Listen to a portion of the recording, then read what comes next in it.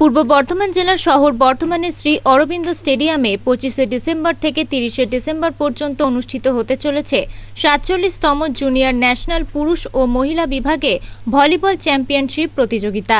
এই উপলক্ষে বুধবার অরবিন্দ স্টেডিয়ামে একটি সাংবাদিক বৈঠক অনুষ্ঠিত হয়। প্রতিযোগিতা অনুষ্ঠিত হবে বর্ধমান জেলা বাস্কেটবল ভলিবল অ্যাসোসিয়েশনের সহযোগিতায়। জুনিয়র ন্যাশনাল ভলিবলের যে শুভ আরম্ভ হতে চলেছে, তার প্রস্তুতি মোটামুটি আমরা করে ফেলেছি। আমি সেই ব্যাপারে আপনারাও একটু দেখে নিলেন, দেখ- বাইরে দেখে নেবেন লাইট ফাইট জ্বলার পর যে আমাদের সংগঠনে এমনি কোনো ভুল আছে কি না থাকতেই পারে করতে গিয়ে ভুল হতেই পারে। তবু চেষ্টা করেছি যতটা পারা যায়, গোটা ভারতবর্ষকে দেখাতে যে আমরা খেলাটা বুঝি এবং খেলার জন্যে যেরকম ধরনের সুযোগ সুবিধা করা যায়, সেটার জন্য আমরা চেষ্টা করে যাচ্ছি আপনার আর এই শর্ট নোটিশে প্রায় বলা চলে দু ঘন্টাও টাইম আমরা দিতে পারিনি। এক ঘণ্টা আগে বলেছি, আপনারা সকলে এসেছেন, এর জন্য সকলকে আমি ধন্যবাদ জানাচ্ছি। বলছি বাহাত্তর সালে শুরু হলো অরবিন্দ স্টেডিয়াম আজকে দু হাজার একুশ সাতচল্লিশতম জুনিয়র ন্যাশনাল ভলিবল চ্যাম্পিয়নশিপ হয়েছে কতগুলো চ্যাম্পিয়নশিপ এই মাঠে হয়েছে মানে আপনি যার সাথে ন্যাশনাল হয়েছে স্টে এর আগেও ধরুন এখানে তো দুটোই হয় শুধু ভলিটা তো হয় না ভলি বাস্কেট এর আগেও আপনারা বাস্কেট হয়েছে দেখেছেন কতগুলো কতগুলো এখন বলতে পারব না তবে প্রথম ইউথ ন্যাশনাল ন্যাশনাল হয়েছে যেটা সেটা এখানেই শুরু হয়। গোটা ভারতবর্ষে প্রথম যে youth national under twenty one সেইটি শুরু হয়েছিল আমাদের এই মাঠ থেকে এছাড়া আমাদের বিভিন্ন সতেরো সালে হয়েছে। না এই যে সাতচল্লিশতম হচ্ছে তো তার কতগুলো বর্ধমানই হয়ে গেছে? বর্তমানে ওই যদি বাহাত্তর সালে বললে একাত্তর সালে কাঠের গ্যালারি করে বর্ধমানের সিনিয়র হয়েছে। তোমার খেয়াল আছে কিনা টাউন স্কুলের হনুমান সিং রাজরাপ্পা তখন খেলে গেছে এখানে। খুশিরাম হ্যাঁ, সুনীল পান্ডে। খুশিরাম এদিন এই সাংবাদিক বৈঠকে উপস্থিত ছিলেন জেলা ভলিবল বাস্কেটবল অ্যাসোসিয়েশনের সভাপতি বনবিহারী যশ জেলা পরিষদের মেন্টর উজ্জ্বল প্রামাণিক জেলা পরিষদের কর্মাধ্যক্ষ উত্তম সেনগুপ্ত প্রাক্তন বিধায়ক সুভাষ মণ্ডল সহ অন্যান্য ব্যক্তিবর্গ।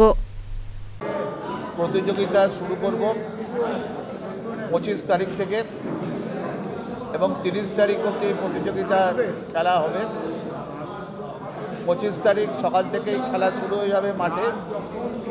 কিন্তু আমরা আনুষ্ঠানিকভাবে বেলা তিনটে টাউন হল ময়দান থেকে বর্ণাঢ্য শোভাযাত্রা সহকারে এই স্টেডিয়ামে প্রবেশ করব চারটে এবং চারটের সময়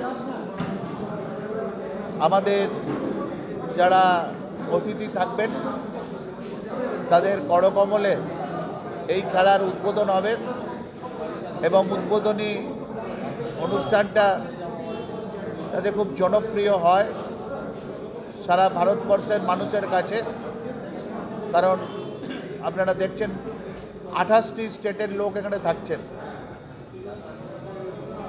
তাই এটাকে একটা খুব ভালোভাবে যাতে এটাকে প্রেজেন্টেশন করা যায়। আমরা তার ব্যবস্থা করছি। বর্ধমান শহরের তিনটি স্কুলকে আমরা বেছে নিয়েছি। মহিলাদের সমস্ত টিম থাকবে বর্ধমান টাউন স্কুলে এবং পুরুষদের সমস্ত টিম থাকবে বিদ্যার্থী ভবন বয়েজ স্কুল এবং হরিজনে এবং অফিসিয়ালরা বর্ধমান বিশ্ববিদ্যালয় বর্ধমান ভবন, পান্থশালা, আমাদের বিভিন্ন সরকারি গেস্ট হাউসে তারা থাকবেন এবং তার জন্য যে উপযুক্ত ব্যবস্থা করা আমরা সেটা করছি। প্রায় যুদ্ধকালীন ভিত্তিতে এখানে কাজ চলছে এবং আমরা আশা করি বর্ধমানবাসী সহ আপনাদের সকলের সহযোগিতায় আমাদের এই ন্যাশনাল খুব ভালোভাবে উতরে যাবে এবং আগামী দিন ভারতবর্ষের মানুষের কাছে একটা বার্তা পৌঁছবে যে বর্ধমানে ভলিবল খেলার যে প্রচলন তারা দেখলেন। এবং তার সঙ্গে এই গেমসকে সুষ্ঠুভাবে সংগঠিত করার সেটা তারা দেখতে পাবেন। আমরা সর্বতভাবে এই টুর্নামেন্টকে যাতে সর্বাঙ্গ সুন্দর করা যায়, আমাদের সকলের প্রচেষ্টা, বর্ধমানবাসীর সহযোগিতা, আপনাদের সহযোগিতা আমাদের একান্ত কামনা অতিথিদের মধ্যে রাজ্যের মন্ত্রীরা থাকবেন। প্রতিদিনের দিকপাল ভলিবল খেলোয়াড়রা থাকবেন। বর্ধমান বিশ্ববিদ্যালয়ের উপাচার্য থাকবেন। মেডিকেল কলেজের প্রিন্সিপাল।